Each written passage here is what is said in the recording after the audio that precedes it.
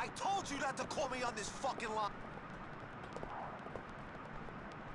Oh, my lord! Excuse me. Are you blind? ah! That is not good. Get out of my way.